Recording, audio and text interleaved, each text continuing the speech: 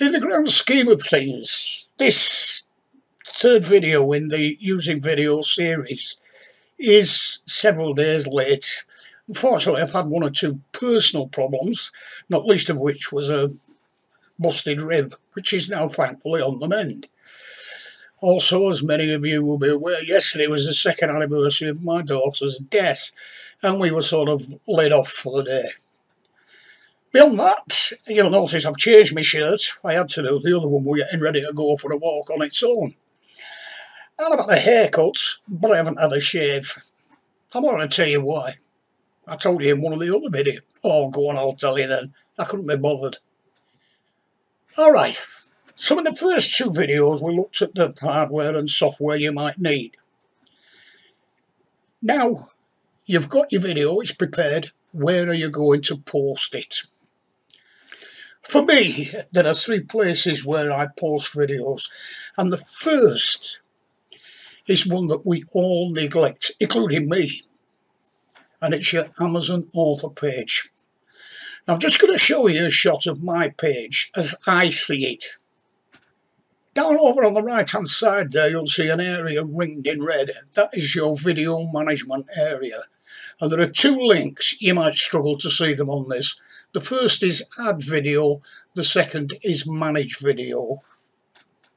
If you click on the manage video, you will come to something like this. Along the top there, beyond where it says videos in brown, there's a faded link that says add video and another one that says manage. That manage allows you to drag and drop videos to either change the order and if you drag them down you can see where it says drag here to delete. You'll get rid of them. Uploading videos is simplicity in itself. You click on the add video and just upload your video and click save and that's it. Amazon with their usual skill at times will take a little bit of time um, looking at the video to decide whether they're going to allow it or not. I've never had one rejected then again, all my books are exclusive to Amazon. Um, and typically, you'll get an email about an hour after it's already appeared on your timeline, on your author page, telling you that it's on your author page. Now you're looking at a view of my author page as a potential reader will see it. They go to one of your books to see the link under the title with your name on it, and they think, oh, let's have a look at his author page, see what he's got on offer and there you are. Across the top of it is a line of my books and underneath them where it says author updates are three videos. The first one is Scarborough. Is a trailer for my next release, Tis the Season to Be Murdered. Once the book's released, that will come down. The middle one is actually a trailer for The Frame, which was released months ago and should have been taken down months ago. Did I tell you that I don't update them as often as I should do? The third video is a general trailer for all my work, The Light and the Dark, The Sanford Mysteries, The Medzalt Mysteries, Fair and Drake, and some of my self-published work. People will look at your author page and when they see those videos they'll be thinking, oh hey, what's he on about here? They will go and look at them. So please, first place you post your videos, your Amazon author page. So, where next? Facebook. Now I have to confess, I don't like that site. There's some good stuff on there. Some of it's entertaining, some of it is informational, but there's also a lot of dross and you have to sort through all that rubbish to get to the decent stuff. But like any other author, I can't live without Facebook. Here's a tip. Post your videos to your timeline. Now I hear people saying, oh, well, you can't do that because Facebook won't let you put adverts on your timeline. Nonsense. You can put whatever you want on your timeline as long as it doesn't breach their regulations and it's not offensive. It is paid advertisements you can't put on your timeline. You need a business page to do them. Simple as that. So post to your timeline and share from there. There's one thing you do need to be aware of. When you post a video to your timeline, if you make any alterations to your comments or whatever, those alterations will appear on every shared version. But the same applies if you delete it. So if you've shared it to half a dozen places and you delete it your, from your timeline, it's gone. So where you get your video on your timeline, where are you going to share it? Well, I have five must share places. And the first is my story. Here you're looking at a shot of my Facebook timeline from a few days ago. Stories are a relatively recent innovation, but you can see them there. They hit you right in the face, right across the top of the page in the middle. And people will go to them. I guarantee that when I post my story within a couple of hours, it's had 20 views, and a significant number of them will go look at the video. Because that's all it is, really. It's just a link to your video. Where else do I share? Two groups Crooked Cat and Darkstroke readers and Darkstroke books.